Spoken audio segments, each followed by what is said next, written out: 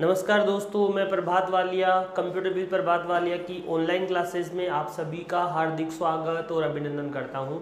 दोस्तों, अगर अभी तक आपने हमारे यूट्यूब चैनल को सब्सक्राइब नहीं किया है तो एक बार इसे सब्सक्राइब करें लाइक करें और अपने दोस्तों के साथ शेयर करना ना भूलें।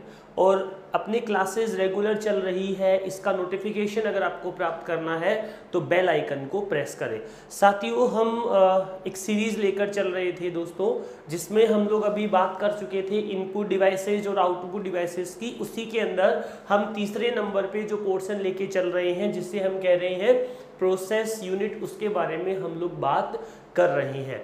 दोस्तों, वास्तव में देखा जाए तो सीपीयू जो होता है, उसे ही हम प्रोसेस यूनिट के नाम से जानते हैं।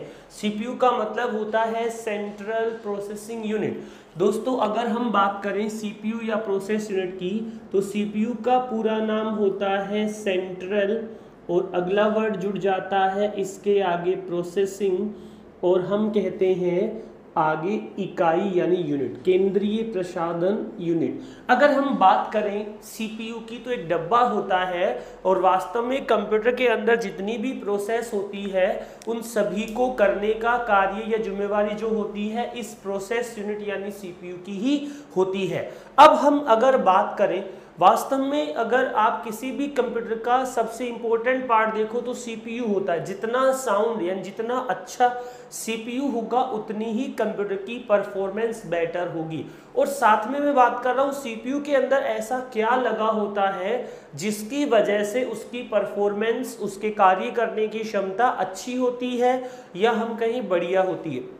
दोस्तों, हम सीपीयू के बारे में जनरल सी बात करने से पहले ये बता दूँ कि कंप्यूटर में जितने भी प्रोसेस संबंधी काम होते हैं मतलब इनपुट देने के बाद उसे आउटपुट में बदलने का काम, उस पर प्रोसेस करने का काम, ये सारा का सारा काम इस सीपीयू का ही होता है। दोस्तों, एक छोटी सी बात मैं बताकर शुरू करता हूँ। अगर हम सीपीयू की बात करें तो हमारे सीपीयू के अंदर लगा होता है माइक्रो प्रोसेसर दोस्तों, इसके बारे में थोड़ी सी बात कर लेते हैं। प्रश्न भी बन जाता है और साथ ही साथ हम समझ लेंगे। पहला प्रश्न तो ये बना कि माइक्रो प्रोसेसर क्या होता है? या सबसे पहले माइक्रो प्रोसेसर का उपयोग कब किया गया? या सबसे पहले माइक्रो प्रोसेसर किसने बनाया और कब बनाया इन दोनों बातों का जवाब मैं आप लोगों को देने की कोशिश कर रहा हूँ।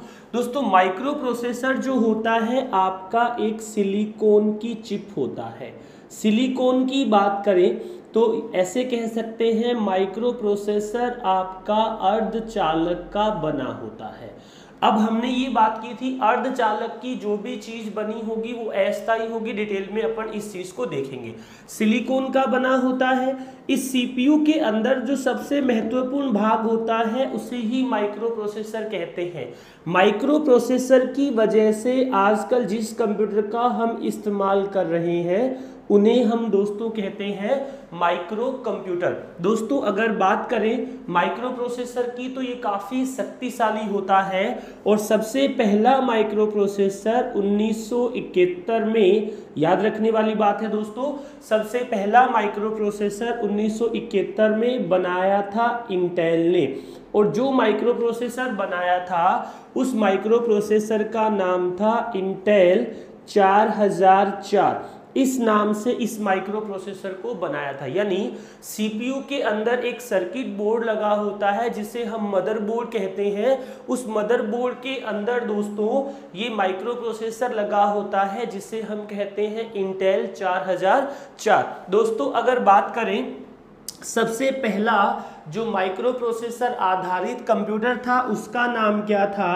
तो उसका नाम है एल्टेयर यानी एल्टेयर एक ऐसा कंप्यूटर है जो माइक्रो प्रोसेसर आधारित सबसे पहला कंप्यूटर कहा जा सकता है। दोस्तों, अगर हम बात करें इंटेल 4004 की तो ये चार बिट का प्रोसेसर था। यानी एक बार में ये जो प्रोसेसर है, आपका चार बिट सूचनाओं को प्रोसेस कर सकता था। अगर हम इस चार बिट प्रोसेस का मतलब समझे, देखो इस प्रोसेसर का एक साइकिल था जो एक बार में चार बिट ले जा सकता था। कितनी बिट ले जा सकता था? चार। अगर आठ बिट हमें प्रोसेस करना होता तो चार चार के दो चक्कर इसे लगाने पढ़ते। समझने वाली बात फिर करते हैं हम। इंटेल ने इसके बाद में 1972 में ही कई जगह 73 भी दे रखा है। डेट ज़्यादा कॉन्ट्राडिक्शन का विषय नहीं होता है कंप्यूटर में, क्योंकि अलग अलग स्टैंडर्ड पे इनको अलग अलग तरीके से एक्सप्लेन किया रहता है। तो उन्नीस सौ बहत्तर में ही इंटेल ने एक और माइक्रो प्रोसेसर बनाया था, जिसे कहा जा, गया इंटेल 8008 जिसे कहा गया इंटेल 8008 ये चार बिट का था, पर ये कितने बिट का था? आठ बिट का। अब अगर हम बात करें जनरल सा प्रश्न बनाना चाहें कि माइक्रो प्रोसेसर में जितनी ज़्यादा बिट होगी जितनी अधिक बिट होगी प्रोसेस करने की गति उतनी ही तेज होगी।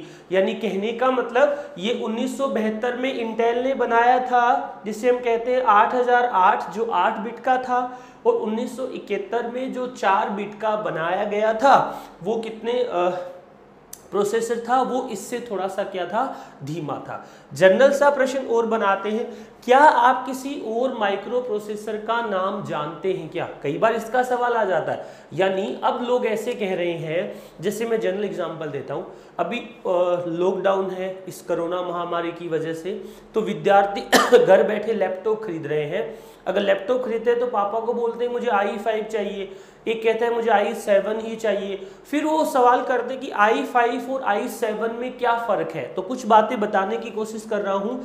इस आई का मतलब तो इंटेल है, क्योंकि इस समय दुनिया में सबसे ज़्यादा माइक्रो प्रोसेसर बनाने वाली जो कंपनी है, उसका नाम क्या है? इंटेल और इसी ने ही सबसे पहला माइक्रो प्रोसेसर बनाया था। एक और नाम लिख रहा हूँ, जिसका सवाल कई एग्जामों में पूछा गया है। शक्ति एस एच ए के टी आई याद रखने वाली बात है, प्रथम भारतीय माइक्रो प्रोसेसर प्रथम स्वदेशी।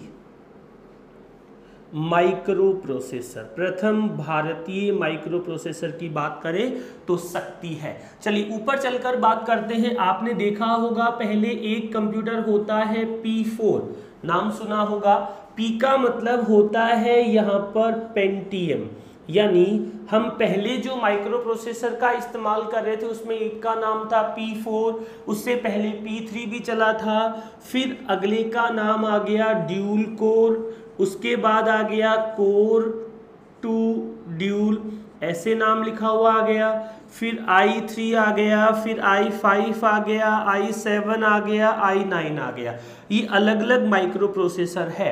दोस्तों, अगर हम बात करें इस समय हम जो स्टैंडर्ड यूज़ कर रहे हैं हमारे देश में, वो माइक्रो प्रोसेसर का आई नाइन है। यानी, अगर मैं इतनी बातों से आपको कुछ बात समझाऊं तो दुनिया का सबसे पहला माइक्रो प्रोसेसर इंटेल द्वारा बनाया गया था, जिसका नाम था इंटेल 4004 इस समय तक जो हम नया प्रोसेसर यूज़ कर रहे हैं, वो इंटेल आई नाइन है। अब इसमें अलग अलग जनरेशन आ गई और ये माइक्रो प्रोसेसर आपके 32 बिट के भी होते हैं, ये आपके चौसठ बिट के भी होते हैं, ये आपके 128 बिट के भी होते हैं। इसमें इनकी अलग अलग जनरेशन का उपयोग किया जाता है। दोस्तों, हम माइक्रो प्रोसेसर की बात करें तो दो नाम और इनके साथ अपन यूज़ करते हैं।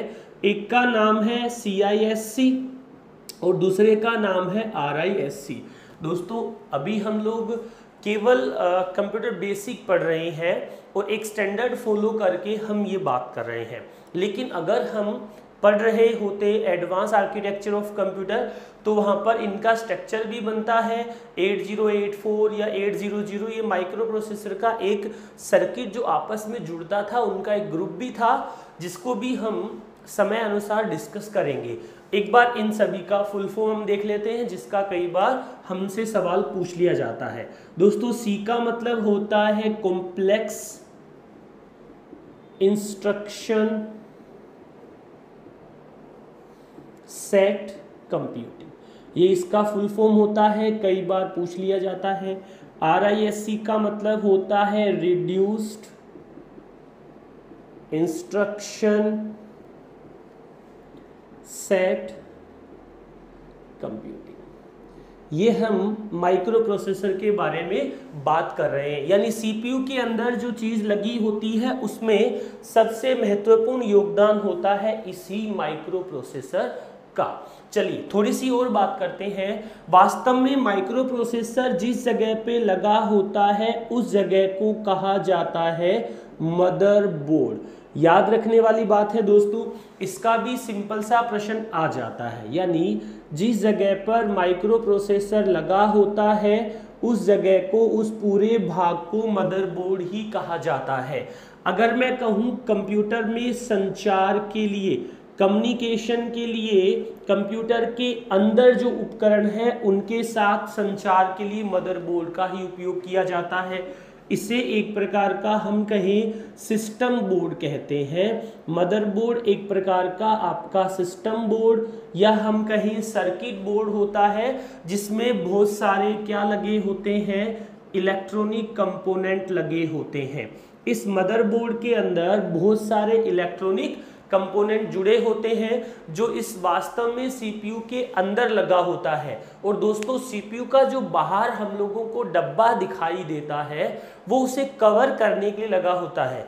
आप किसी मिस्त्री की दुकान पर जाना, जो कंप्यूटर ठीक करता हो कंप्यूटर ठीक करने वाले को मिस्त्री नहीं कहते, हार्डवेयर इंजीनियर कहते हैं, क्योंकि बुरा मान जाता है। एक छोटी सी बात बताता हूँ, देखो बच्चों की आदत होती है किसी का पीछा करने की। जब हम कक्षा दस में पढ़ते, जब तक तो गाँव के स्कूल में थे।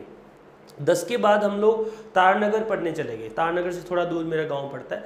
जब दसवीं के बाद ग्यारहवीं क्लास में एडमिशन लिया तो मैंने सबसे पहले बायो ले लिया इलेवेंथ बायो कारण कुछ और था बायो लेने का। अच्छा कारण क्या था, वो थोड़ी देर में आप समझ जाएँगे। मैंने इलेवेंथ बायो मतलब मैंने लिया साइंस लेने का कारण कोई दूसरा था, किसी के पीछे जाकर साइंस ले लिया। भाई, मैं पंद्रह बीस दिन तो साइंस मैथ में बैठा रहा। पंद्रह बीस दिन मैं साइंस बायो में बैठा रहा। लगभग ऐसे करके मैंने दिन निकालता गया, लगभग तीन चार महीने निकल गए। तो उससे मुलाकात ही नहीं हो पाई। मैं उसे साइंस मैथ में ढूंढाया, मैं उसे साइंस बायो में ढूंढाया। अब एक दिन बस में मुलाकात हो गई, क्योंकि बस से जाना आना करते थे। मैंने पूछा भी तू क्या सब्जेक्ट ले रखा है? तो बोली, मैंने साइंस ले रखा है। तो मैंने कहा, मैं साइंस की तो सारे सेक्शन में ढूंढ लिया तो मिली ही नहीं। बोले, मैंने साइंस ले रखा है, पता है कौन सा? मैंने ले रखा है होम साइंस उस दिन पता चला कि भाई साइंस भी अलग अलग प्रकार के होते हैं। तो अगली ने क्या लिखा? था होम साइंस तो भाई ने तो वही साइंस छोड़ दिया। मतलब अगर होम भी साइंस होता है, यानी होम साइंस भी होता है, इस बायो और मैथ के अलावा तो हम भी भाई साहब लेंगे इस बार। क्या लेंगे? कंप्यूटर साइंस यानी उस दिन मैंने लगभग छः महीने बाद बायोलॉजी छोड़कर कॉमर्स में एडमिशन ले लिया और कॉमर्स में भी मैंने कंप्यूटर साइंस ले लिया। अब कोई मुझसे पूछता सब्जेक्ट बताओ गुरुजी भाई साहब। तो हमने कहा कि सब्जेक्ट हमारे पास साइंस है। साइंस कौन से वाली? कंप्यूटर साइंस तो दोस्तों, वास्तव में हम जो चीज़ पढ़ रहे हैं, वो कंप्यूटर साइंस है। चलिए अपने टॉपिक से भटकेंगे नहीं, वापस वहीं आ जाते हैं। वरना तो लोग कहेंगे, ऑनलाइन पर भी बात चालू कर दी भाई ने। मदरबोर्ड संचार और कम्युनिकेशन के लिए यूज़ किया जाता है। इसे सिस्टम बोर्ड कहते हैं। मतलब टेक्निकली इलेक्ट्रॉनिक कंपोनेंट इसके साथ जुड़े होते हैं। ये होम साइंस वाली बात को उड़ा दो। चलिए मदरबोर्ड की अगर बात करें एक ग्रीन कलर का बोर्ड होता है, जिस पर इलेक्ट्रॉनिक परिपथ बहुत सारे जुड़े होते हैं। अब इस मदरबोर्ड पर कौन कौन सी चीज़ें होती है? दोस्तों, हम बात कर रहे हैं सीपीयू की। और उस सीपीयू के अंदर सबसे पहले, यानी वास्तव में अगर मुझे कोई कहे ना कि सीपीयू तो मैं सीपीयू को भूलकर केवल एक शब्द का इस्तेमाल करता हूँ। वो शब्द है माइक्रो प्रोसेसर वास्तव में उस सीपीयू के अंदर माइक्रो प्रोसेसर ही तो होता है। अब उस मदरबोर्ड के अंदर और क्या चीज़ें होती है, हम बात करते हैं। दोस्तों, हम सीपीयू के बारे में पढ़ रहे हैं सिस्टम नेट के बारे में पढ़ रहे हैं। तो उसके अंदर जो मदरबोर्ड है उस मदरबोर्ड के अंदर भी बहुत सारी चीज़ें जुड़ी होती है। अच्छा अगर मैं कहूँ कि मुझे कंप्यूटर से कुछ उपकरण जोड़ने हैं, कुछ उपकरण जोड़ने का मतलब मुझे कंप्यूटर से पेरीफेरल शब्द है, याद रखना है, जिसे हम कहते हैं पेरीफेरल उपकरण डिवाइस ऐसे सभी उपकरण जो कंप्यूटर सिस्टम से जोड़े जाते हैं, उन सभी उपकरणों को हम पेरीफेरल कहते हैं। पेरीफेरल का मतलब होता होता है बाहर की ओर से, बाहर की ओर से जुड़ने वाले। वाली कर देता हूँ, कोई दिक्कत नहीं है। जुड़ने वाले डिवाइस या उपकरण। क्या हम उस सीपीयू से बाहर की ओर से मॉनिटर को जोड़ते हैं? क्या? हाँ। क्या हम उससे बाहर की ओर से माउस को जोड़ते हैं क्या? हाँ कहने का मतलब जो चीज़ बाहर की ओर से जुड़ रही है, उस हर चीज़ को पेरीफेरल कहते हैं। सीपीयू के अंदर प्रोसेसर लगा होता है रैम लगी होती है हार्ड डिस्क लगी होती है, क्या वो आपके पेरीफेरल कंपोनेंट है क्या? नहीं, वो आपके पेरीफेरल कंपोनेंट नहीं है। चलिए दोस्तों, अब बात करते हैं पेरीफेरल उपकरण जोड़ दिया तो मदरबोर्ड के अंदर एक चीज़ बनी होती है जिसे हम कहते हैं स्लोट्स मदरबोर्ड के अंदर जो उपकरण जोड़ते हैं, वो जुड़ते हैं दोस्तों स्लोट पर. अच्छा स्लोट के बाद एक और शब्द आता है कार्ड जिसे हम बोलते हैं कार्ड एक तीसरा नाम आता है पोर्ट क्या नाम आता है? Port P O R T अच्छा बात है, ये मदरबोर्ड यानी सीपीयू के साथ जुड़ी चीज़ें हैं। स्लोट का मतलब है मदरबोर्ड के कनेक्शन बिंदु। यानी टेक्निकली मदरबोर्ड के अंदर जितने भी उपकरण जुड़ते हैं, उन्हें जोड़ने के लिए हम इस्तेमाल में लेते हैं स्लोट स्लोट होता है मदरबोर्ड के कनेक्शन बिंदु। साथियों, कार्ड होता है। पहले मैं उदाहरण दे देता हूँ, फिर दिमाग में बात आ जाएगी। कार्ड में एक नाम सुनो, साउंड कार्ड। चलिए, ये थोड़ा कम सुना होगा। तो जो गेम वगैरह खेलते हैं, उन्हें आइडिया होगा, जिसे हम कहते हैं ग्राफिक्स कार्ड। चलिए, एक और नाम लिख देता हूँ। दोस्तों, आजकल तो हम लोग स्मार्ट एलईडी का ही उपयोग करते हैं। स्मार्ट एलईडी का मतलब क्या हुआ? उस एलईडी के अंदर आप वाईफाई कनेक्ट कर सकते हो। एंड्रॉइड आता है। एक प्रकार का जो स्मार्ट एलईडी है, वो एंड्रॉइड टीवी होता है, जिसके अंदर आप चाहो तो वाईफाई चाहो तो ब्लूटूथ सारे उपकरण उससे जोड़ सकते हो। तो पहले जब टीवी चलाना चाहते थे तो टीवी टूनर कार्ड का इस्तेमाल करते थे। यानी मैं कहूँ कार्ड क्या होते हैं? तो आपका अगर कंप्यूटर सही से काम कर रहा है, कोई दिक्कत नहीं। उससे कोई अतिरिक्त कार्य करवाना है तो हम एक हार्डवेयर जोड़ते थे। उसे हम कहते थे कार्ड ये जो कार्ड थे मदरबोर्ड के किसके अंदर लगते हैं? स्लोट के अंदर लगते हैं। और मैं कहूँ, क्या होता है ये? अतिरिक्त हार्डवेयर होता है। अतिरिक्त क्या होता है? हार्डवेयर होता है जो आपके कंप्यूटर की क्या बढ़ा देता है? क्षमता को बढ़ा देता है। अब देखो, पोर्ट की बात कर रहे थे। वास्तव में आपके मदरबोर्ड पर जो कार्ड बना होता है, चाहे साउंड कार्ड हो, चाहे ग्राफिक कार्ड हो, चाहे वो आपका टीवी टूनर कार्ड हो, उसके अंदर बाहर की ओर जो छेद दिखते हैं, उन्हें हम कहते हैं पोर्ट। यानी मैं सिंपल सी भाषा में कहूँ पेरीफेरल। पेरीफेरल क्या होता है? अभी हमने बात कर ली और कहा पेरीफेरल उपकरणों को क्या करने का? जोड़ने का स्थान। पेरीफेरल उपकरणों को जोड़ने का स्थान जो होता है, वो आपका कहलाता है पोर्ट दोस्तों, कई प्रकार के पोर्ट का हम लोग इस्तेमाल करते हैं। कौन कौन से पोर्ट हैं, उनके बारे में भी हम अभी देख लेते हैं। ये कहाँ पर दिखाई देंगे? आप जब सीपीयू देखोगे तो पीछे की ओर खूब सारी जगह दिखती है, जिस पर हम उपकरणों को जोड़ते हैं। चलिए, उन्हीं को हम कहते हैं पेरीफेरल उपकरणों को जोड़ने का स्थान यानी पोर्ट दोस्तों, हम बात कर रहे हैं पोर्ट की और पोर्ट के अंदर हम लोग सबसे पहला पढ़ेंगे, जो आपको जल्दी से समझ आ जाएगा, जिसका नाम है यू एस बी दोस्तों देखो, आपको सिंपल बात बताता हूँ। जो हम ये सब्जेक्ट पढ़ रहे हैं ये इंटरनेशनल है एक प्रकार का। कैसे इंटरनेशनल है? कि आप पोर्ट चाहे पाकिस्तान में पढ़ने जाना तो यूएसबी तो यूएसबी का ही काम करेगा। आप लैपटॉप खरीद रहे हो इंडिया में आई थ्री काम में आ रहा है तो पाकिस्तान में वो आई थ्री का नाम कोई दूसरा थोड़ी हो जाता है। यानी कहने का मतलब ये यूनिवर्सल चीज़ें हैं जो किसी प्रकार का एग्ज़ाम हो उसमें काम आता है। लाइब्रेरी साइंस की वैकेंसी है, या हम कहें हॉस्टल वार्डन या ग्राम सेवक की वैकेंसी है, जिसमें भी आपको कंप्यूटर सब्जेक्ट की तैयारी करनी हो, आप इन चीज़ों को पढ़ सकते हैं। दोस्तों, मैं आपको वापस बताता हूँ, जितना अनुभव मैंने पढ़कर सीखा है पिछले आठ दस साल में राजस्थान में, वो मैं आपके साथ जोड़ रहा हूँ। दोस्तों, अभी हम जो टॉपिक स्टार्ट किए हैं, सीपीयू यानी प्रोसेस यूनिट, उसी के अंतर्गत हम ये इतनी सारी बातें कर रहे हैं। क्या लिखा है? पोर्ट। पोर्ट में सबसे पहला क्या यूएसबी। अगर किसी ने पिछली बार के पटवार का पेपर हल किया हो या देखा हो तो बड़ा सिंपल सा क्वेश्चन पूछा था, यूएसबी का पूरा नाम क्या होता है? यूएसबी का पूरा नाम क्या होता है? यू को बोलते हैं यूनिवर्सल एस को बोलते हैं सीरियल, और बी को बोलते हैं बस। तो यूएसबी का पूरा नाम क्या हो गया? यूनिवर्सल सीरियल बस दोस्तों अगर हम कहें वर्तमान में सबसे प्रचलित पोर्ट कौन सा है तो ये आपका सबसे प्रचलित पोर्ट है। इसके लिए अगर हम कहें इसके अलग अलग वर्जन का हम लोग यूज़ करते हैं USB 1.0, USB 2.0 और USB 3.0 ये इसके अलग अलग वर्जन है। आप देखोगे, पहले हमारे लैपटॉप में दो एक साइड पोर्ट आते थे यूएसबी वाले, एक अलग आता था। आजकल जल्दी दो पोर्ट ही अपन इस्तेमाल में लेते हैं।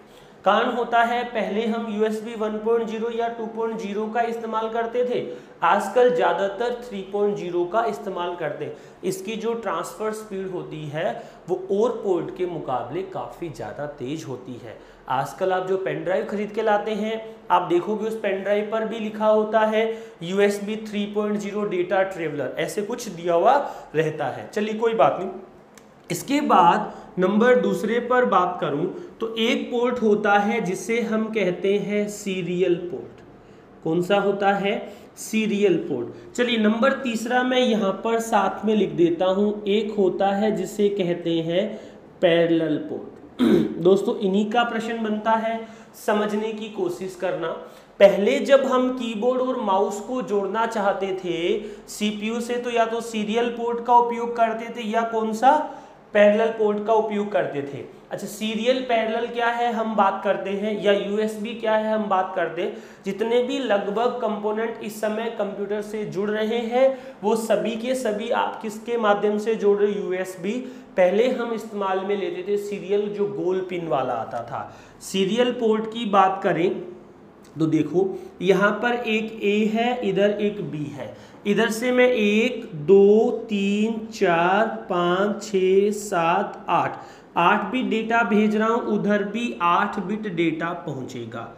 यानी आठ लाइनें आठ बिट के बराबर है। लेकिन एक बार में केवल कितनी बिट जाएगी? एक। ये सीरियल में होता है। जैसे हमने पढ़ा छोटी क्लासेस में साइंस में, एक होता है श्रेणी क्रम दूसरा होता है समांतर क्रम श्रेणी क्रम में क्या होता था? श्रेणी क्रम ये है। सीरियल। यानी श्रेणी क्रम में क्या था? एक के पीछे एक लगा था। एक होता है समांतर क्रम यानी पैरल उसमें क्या होता था? एक साथ चलते हैं। तो इसमें तो एक बार में केवल कितना डेटा जाता है? एक बार में केवल एक बिट सूचना जाती है, इसमें लगभग नौ पिन का उपयोग किया जाता है। यानी, अगर पूछे कि सीरियल पोर्ट कितने पिन का होता है तो आप बताओगे नौ पिन का। और इसका उपयोग हम ज़्यादा दूरी पर अगर डेटा भेजना हो तो उपयोग करते हैं। इधर आते हैं पैरेलल में। इधर मैं लिखा ए, इधर लिखा मैंने बी, इधर से सूचना भेज रहा हूँ चार बिट तो इधर से भी कितने बिट जाएगी? चार। इधर भी कितनी पहुँच जाएगी? चार। इधर से मैं आठ भेज रहा हूँ तो इधर से भी कितनी जाएगी? देखो आठ। उधर भी कितनी पहुँच जाएगी? देखो आठ।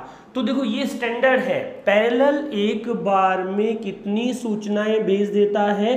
आठ बिट सूचनाएँ भेज देता है। साथ ही साथ ये क्या काम आता है? कम दूरी पर अगर डेटा आपको भेजना हो तो हम इसका इस्तेमाल करते हैं। साथ ही साथ अगर हम एक और बात करें, इसमें लगभग 25 पिन होती है। इसमें कितनी पिन होती थी? नो पिन का इस्तेमाल करते थे। इसमें लगभग कितने पिन का यूज़ किया जाता है? 25 का। नंबर चार पर नाम थोड़ा सा अजीब लगेगा, लेकिन प्रश्न आता है। एम आई डी आई क्या नाम लिखा है दोस्तों मैंने? मिडी। क्या होता है पूरा नाम मिडी का? एम का मतलब हो गया म्यूजिकल आई का मतलब हो गया इंस्ट्रूमेंट कहा जा रहा है भाई? डी का मतलब हो गया डिजिटल आई का मतलब हो गया इंटरफेस जो मैं बात कर रहा हूँ, अगर आपको समझ आ रही है तो आप मुझे कमेंट करके बताएँ यस और नो लिखकर बताएँ। दोस्तों, वापस मैं बार बार आप लोगों को एक बात बताता हूँ। क्लास जब ऑफलाइन चलती है तो हम बच्चों को ये बोल देते हैं, भाई हाँ समझ आई बात, उनका जवाब हाँ या ना में आ जाता है। यहाँ पर हम बात करेंगे मिडी की। तो मिडी क्या है? Musical instrument digital interface. चलिए मैं बात कर लेता हूँ ताकि आपको बोरिंग ना लगे क्लास। आपका कभी किसी जागरण में जाने का काम पड़ा हो? अब तो आजकल के बच्चे जागरण में कहाँ जाते हैं? डीजे नाइट पार्टियाँ होती है। अब समस्या लॉकडाउन में लोगों को ये भी आ रही है कि अब नाइट पार्टियाँ नहीं हो रही डे पार्टियाँ हो रही है। खेत में ले जाते हैं घर वाले काम करवाते हैं। तो अगर हम बात करें हारमोनियम बजाते हुए किसी को देखा हो, ऐसे खींच खींच के बजाता रहता है, ढोलक बजाता रहता है तो चलो चल ठीक है, ये ढोलक कहाँ पर बजता है? घर नहीं बजता है भाई? किसी सत्संग में, कीर्तन में जाओगे तब पता चलेगा। आप अगर टीवी में देखते हो कॉमेडी नाइट विद कपिल उसमें वो टच करता, टच करते पता नहीं कौन कौन सी आवाज़ निकल जाती है। हारमोनियम में तो वो थक जाता था, पसीना पसीन हो जाता था, जब जाके कोई म्यूज़िक या गाना चलता था। तो वैसी ही बात मैं यहाँ पर कर रहा हूँ। आजकल वो हारमोनियम अल्लाफड़ा खत्म हो गया इलेक्ट्रॉनिक या म्यूजिकल उपकरण आ गए। तो जैसे मिड़ी का नाम है, वो मैं यहाँ पर जोड़ता हूँ। क्या करने के लिए संगीत उपकरण? अगर हम जोड़ना चाहते हैं, तब हम किसका उपयोग करेंगे? मिडी का। संगीत उपकरण में क्या क्या आता है? अगर मैं कहूँ, इलेक्ट्रॉनिक। इलेक्ट्रॉनिक कीबोर्ड हो गया या पियानो हो गया, इन सभी को जोड़ने के लिए हम किसका इस्तेमाल करते हैं? मिडी का मिडी का पूरा नाम होता है musical instrument, digital interface. Number पाँच पर, पोर्ट में सबसे इंपॉर्टेंट ये है, इस समय इसका उपयोग भी ज़्यादा किया जाने लगा है। इसे बोलते हैं H D M I H का मतलब होता है यहाँ पर हाई डी का मतलब होता है डेफिनीशन एम का मतलब होता है मल्टी मीडिया और आई का मतलब होता है इंटरफेस यानी S D M I high definition multimedia interface आजकल जितने भी हम कहते हैं ऑडियो या हम कहें वीडियो जो उपकरण है, उन्हें हम जोड़ना चाहते हैं तो इस पोर्ट का उपयोग करते हैं। साथ ही साथ मैं आप लोगों को बता दूँ कि आजकल जो हमारा स्मार्ट टीवी है या हम कहें प्रोजेक्टर है इन सभी को भी हम अगर जोड़ना चाहते हैं तो एच पोर्ट का हम लोग उपयोग करते हैं। दोस्तों प्रोसेस यूनिट के अंदर हम बात कर रहे थे पोर्ट की और पोर्ट के बाद हम आगे बढ़ते हैं। जो सीपीयू होता है, उसके साथ में एक और कंपोनेंट जुड़ा होता है। वास्तव में उसके बिना हम इस सीपीयू की कल्पना नहीं कर सकते। मतलब ये हुआ कि अगर आप सीपीयू का इस्तेमाल कर रहे हो तो आपको एक और नाम का पता होना चाहिए, जिसे हम कहते हैं एस एम पी एस यानी अब जब लाइट में हम तार लगाते हैं और वो तार सीपीयू के साथ जुड़ता है तो एक डब्बा बाहर काम आता है, जिसके साथ में फ़ैन यानी पंखा भी जुड़ा होता है और उसे बोलते हैं हम लोग एस एम पी एस यानी इसका पूरा नाम होता है simple sorry switched mode power supply चलिए बात करते हैं एसएमपीएस की। क्या एसएमपीएस हमारे सीपीयू के लिए, कंप्यूटर के लिए कंपलसरी या अनिवार्य है क्या? बिल्कुल है दोस्तों, बिना एसएमपीएस के आपका कंप्यूटर चलेगा ही नहीं, क्योंकि ये हमारे एसएमपीएस को सॉरी कंप्यूटर को पावर सप्लाई करता है, बिजली सप्लाई देता है। साथ ही साथ हम कहीं क्या काम करेगा बोलो? ये करेगा पावर सप्लाई पावर सप्लाई को बोलते हैं बिजली आपूर्ति करता है। और अगर हम इसके बारे में बात करें तो प्लस माइनस पाँच वोल्ट पर लगभग ये काम करता है। इससे ज़्यादा के भी हम लोग सात बारह के भी उपयोग में लेते हैं। अब जो जर्नल बात इसकी है, वो ये सुनो। आप लोग मोबाइल चार्ज करते हैं? जी करते हैं गुरुजी। लैपटॉप चार्ज करते हैं? करते हैं। मोबाइल चार्ज के लिए एक बाहर अडप्टर लगा होता है एक पिन तो साथ में हम ऐड करते हैं, एक अडेप्टर लगा होता है। क्या हम बिना अडेप्टर के मोबाइल चार्ज कर सकते हैं क्या? ना गुरुजी, नहीं कर सकते। मैं कह रहा हूँ, कर सकते हैं भाई। एक बार चार्ज कर लो, जीवन भर आपको चार्ज करने की आवश्यकता ही नहीं पड़ेगी। मतलब ये हुआ कि बिना अडेप्टर आपका मोबाइल चार्ज नहीं होगा। अगर आपने दो नाम सुने हो, एक होता है एसी और दूसरा होता है डीसी प्रत्यावृत्ति धारा, दिष्ट धारा अल्टरनेटिव करंट डायरेक्ट करंट दोस्तों, जो तार के अंदर करंट आता है, वो एसी होता है, और जो इलेक्ट्रॉनिक कंपोनेंट को करंट चाहिए, बिजली चाहिए सप्लाई चाहिए, वो कौन सी होती है? डीसी होती है.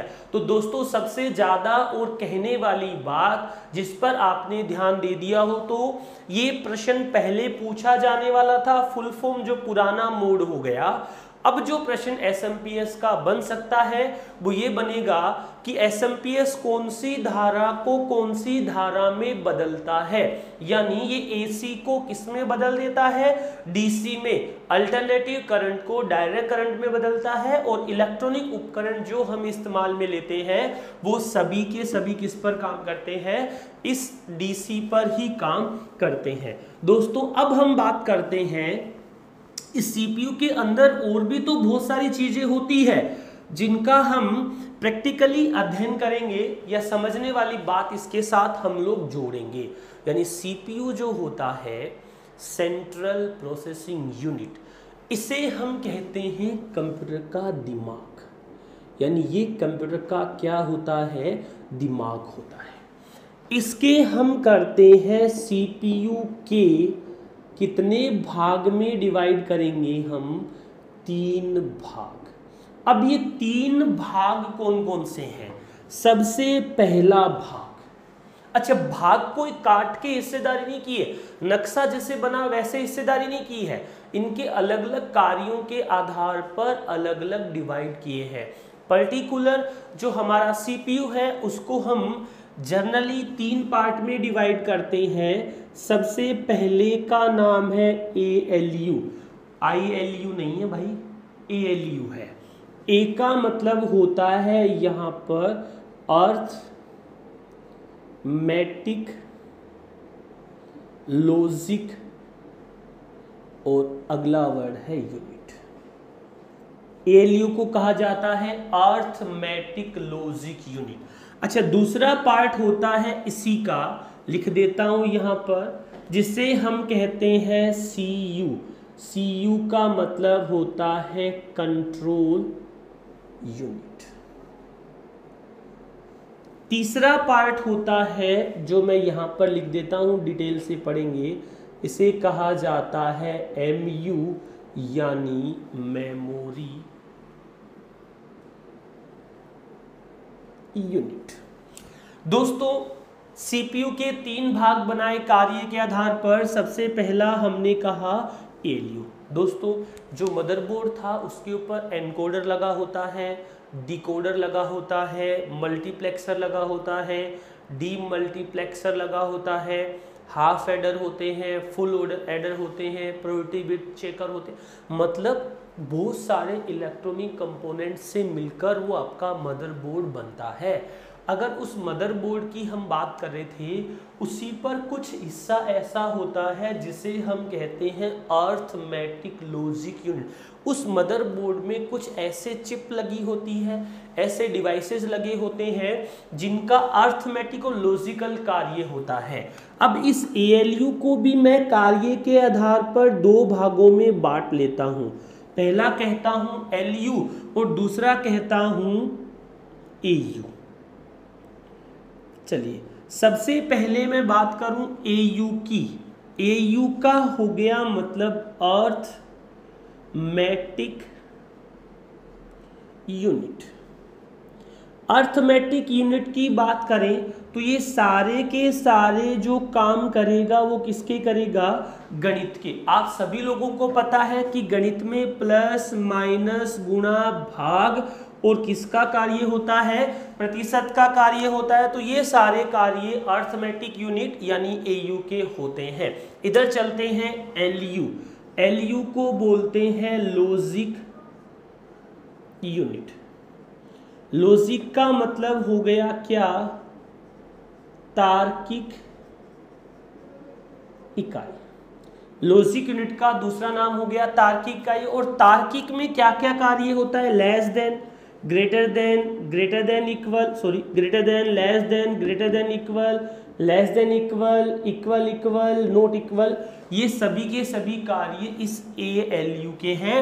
और ये जो कार्य हैं, हमारे किसके हैं? तुलना के और ये किसके हैं? गणित के।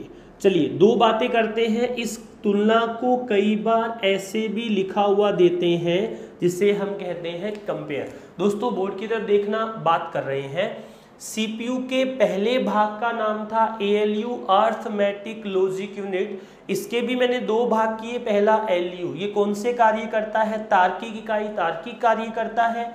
तार्किक कार्यों में तुलना करना, यानी कंपेयर करना एएलयू का ही कार्य है, लेकिन कौन सा है? लॉजिकल कार्य है। एयू अर्थमेटिक यूनिट गणित के काम करता है, जैसे प्लस माइनस गुना भाग प्रतिशत निकालना। आगे देखो क्या लिखा है? सी यू यानी कंट्रोल यूनिट नाम से पता चल रहा है, इसे हम कहते हैं नियंत्रण इकाई। यानी हर चीज़ को कंट्रोल करने का काम अपना किसका होता है? इस सी यू यानी कंट्रोल यूनिट का होता है। साथ ही साथ कहें, ये किसे नियंत्रित करती है? इनपुट आउटपुट को भी ये मैनेज करती है। सीपीयू आपका कौन से कार्य को करेगा, उसे भी ये मैनेज करती है। साथ ही साथ इसे कंप्यूटर का दिल कहा जाता है। अगर मैं कहूँ कि हार्ट ऑफ़ कंप्यूटर किसे कहते हैं तो आप बताओगे सीयू को। सबसे इंपॉर्टेंट इसके बारे में जो प्रश्न बनता है, या पूछा जाता है, वो है, पहला वर्ड है एनकोडिंग और दूसरा वर्ड है डिकोडिंग यानी हमारे सीपीयू के लिए एनकोडिंग और डिकोडिंग का कार्य जो करता है, उसे कहते हैं कंट्रोल यूनिट एनकोडिंग डिकोडिंग का मतलब क्या हुआ?